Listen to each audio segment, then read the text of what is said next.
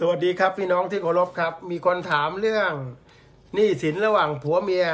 นะครับ ว่าเวลาหย่าจากกันแล้วเนี่ยต้องทำยังไง หรือยังไม่หย่าต้องทำยังไงนะครับ เพราะทุกวันนี้ทั้งผัวทั้งเมียก็ก่อหนี้ก่อสินกันเยอะแยะมากมาย อย่างกรณีของนะสอนรามเทพพิทักษ์ก็มีปัญหาเรื่องนะภรรยาเหมือนกันนะครับ ตามที่เป็นข่าวส่วนจริงเท็จยังไงผมไม่ทราบนะครับ คราวนี้เนี่ยปัญหาเนี่ยครับเรื่องผัวเมียเป็นหนี้เป็นสินเนี่ยโดยทั่วไปก็ต้องรับผิดชอบร่วมกันนะตามภาษาชาวบ้าน คราวนี้ในหลักกฎหมายแล้วเนี่ยถ้าเป็นหนี้ร่วมนะครับหมายถึงสามีภรรยาเป็นลูกหนี้ร่วมกันเนี่ยประมวลกฎหมายแพ่งและพาณิชย์เนี่ยมาตรา 1489เนี่ยเขาบอกว่านะครับ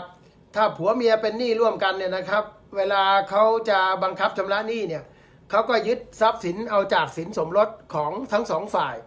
และก็สินส่วนตัวทั้งสองฝ่าย ก็คือตามมาตรา 1489 อันนี้นะครับ เพราะฉะนั้นถ้าหนี้สินถ้ามันเป็นหนี้ร่วมระหว่างผัวเมียนะครับนะหนี้สินที่ผัวเมียทำมาด้วย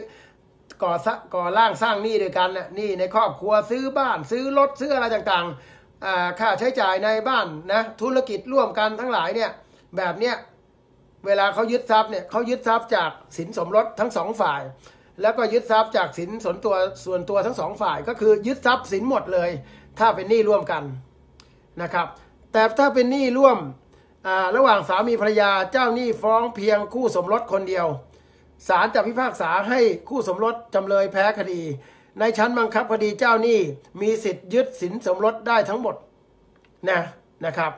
ยึดสินสมรสของทั้งผัวทั้งเมียได้ทั้งหมดนะครับ แต่และคู่สมรสนะครับ คนใดคนหนึ่งที่ไม่ได้โดนฟ้องเนี่ยนะฮะ จะไปขอกันส่วนไม่ได้ เช่นร้อยบาทจะกันทักห้าสิบาทไม่ได้คำพิพากษาฎีกาที่สองเจ็ดสองห้าทับสองแปดนะฮะแต่ถ้าฟ้องผัวเมียไม่ได้ฟ้อง จะไปยึดทรัพย์สินส่วนตัวของเมียของเมียที่ไม่ได้ถูกฟ้องไม่ได้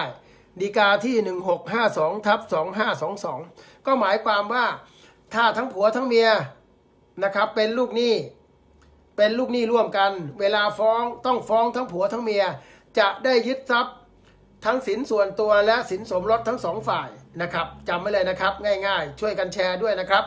หาผัวหาเมียก็เอาที่มันไม่สร้างหนี้สร้างสินก็แล้วกันนะครับ